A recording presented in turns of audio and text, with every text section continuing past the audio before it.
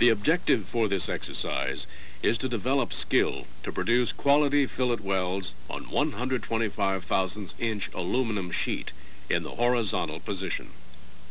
The materials, equipment, and power source settings are the same as in the previous practice and are listed in your workbook.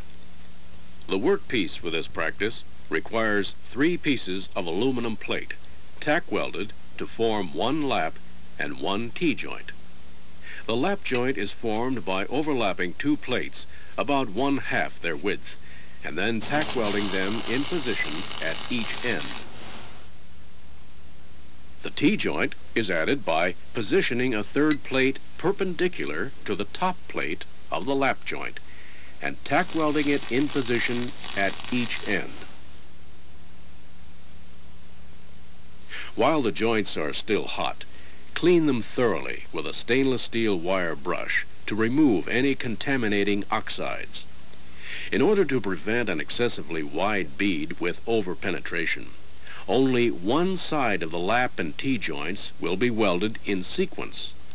The joint must cool before it can be welded on the opposite side.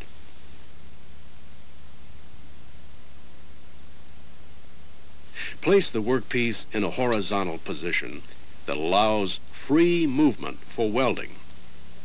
For the lap joint, a 45 degree work angle and a 20 to 30 degree push travel angle will be used. Start the arc and move quickly along the root of the joint with a smooth, steady motion without hesitating or moving too slowly. The proper travel speed will keep the electrode wire slightly ahead of the center of the puddle.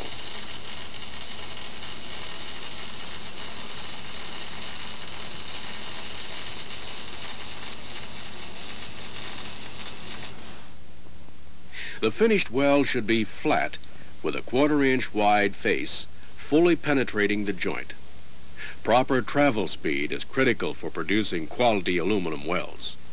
Too slow a speed will cause wide concave beads. Too fast a travel will cause narrow convex beads. It is also important that proper gun angles are maintained and that the gun nozzle stays in the root of the joint. Improper gun angles cause undercut. The T-joint will use the same 45 degree work angle and 20 to 30 degree push travel angle used for the lap joint.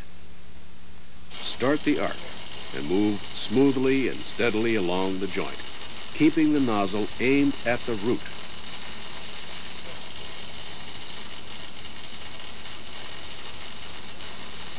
Adjust your speed so that the electrode is slightly ahead of the center of the puddle.